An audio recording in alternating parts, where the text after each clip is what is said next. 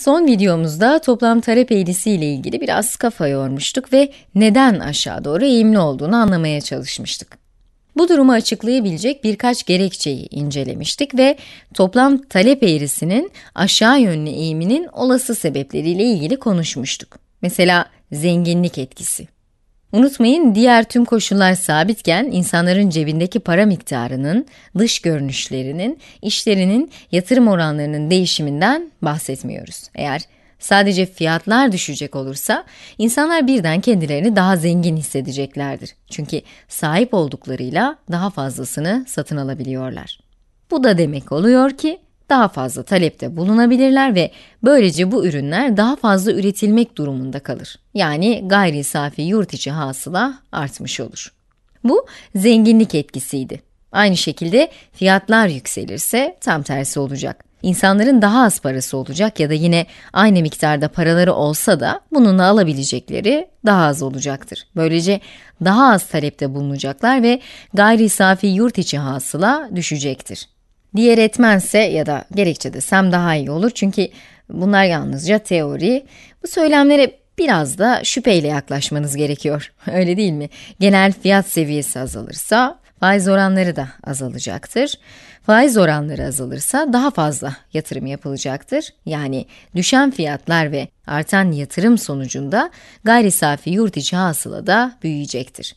Fiyatlar artarsa faiz oranları da artar. Bu da gayri safi yurt içi hasılanın küçülmesi anlamına gelir. Bu noktaya gelmiş oluruz. Sonuncusu ise döviz ve ihracatla ilgiliydi. Genel fiyatlar seviyesi düşerse faiz oranları azaldığı gibi o ülkede ürünlerin fiyatları da düşecektir. Böylece daha fazla net ihracatımız olacaktır. Bir kez daha fiyatlar düşer, gayri safi yurt içi hasıla yükselir Fiyatlar yükselir, gayri safi yurt içi hasıla düşer.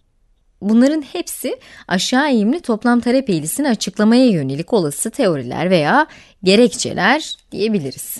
Bu videoda göstermek istediğimse diğer tüm koşullar sabitken toplam talep eğrisinin yer değiştirmesine nelerin sebep olabileceği ve bu kaymaya nasıl sebep olacağı.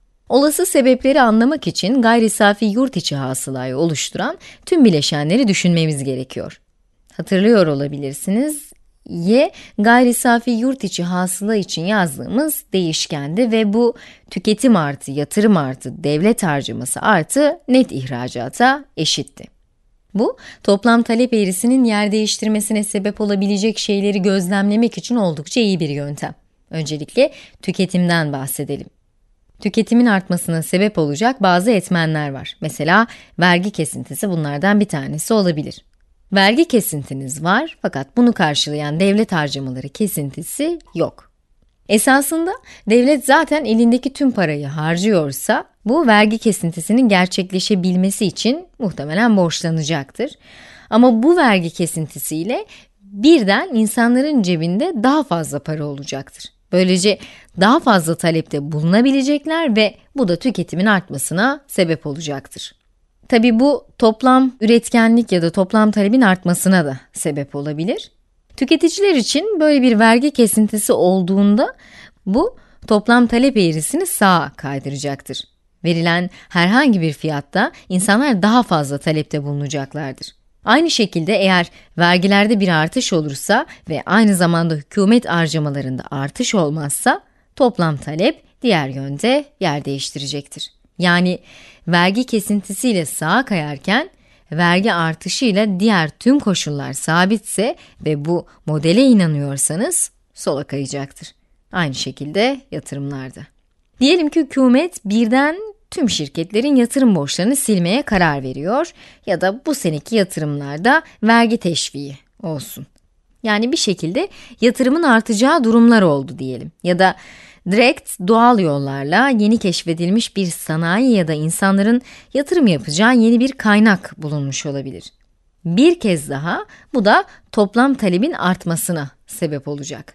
Üçüncü parçada ise doğrudan hükümet var hükümet bir gün zaten sahip olduğu tüm parayı veya sahip olduğundan fazlasını harcadıklarını varsayalım. Daha fazla para harcayabilmek için daha da fazla borca gireceğiz diyebilir. Eğer devlet harcamaları artarsa bu da talep eğrisinin sağa kaymasına sebep olur.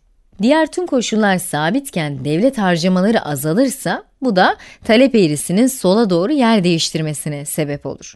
Son olarak bunu zaten tahmin edebileceğinizi düşünüyorum.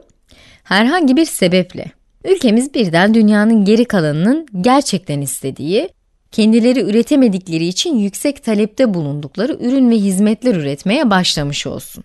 Net ihracat artacaktır. Eğer net ihracat artarsa bu diğer ülkelerden daha fazla insan bizim ürün ve hizmetlerimizi satın alıyor demektir ve bu da toplam talebin artmasına sebep olur. Diğer taraftan insanlarımız birden kendi ürettiğimiz ürünleri almak istemiyoruz, okyanusun diğer tarafındaki ülkelerden satın alacağız derlerse, bu da toplam talebin azalmasına doğal olarak sebep olacaktır. Sonuçta, toplam talep eğrisinin nasıl yer değiştirdiğine bakarken, yapmamız gereken yalnızca gayri safi yurt içi hasılanın bileşenlerini düşünmek olacak ve makro düzeyde hangi farklı etmenlerin bu bileşenleri değiştirebileceğini anlamak gerekiyor. İşte bunlar size verilen bir fiyat seviyesinde toplam talep eğrisinin sağa ya da sola kayacağını gösterecektir.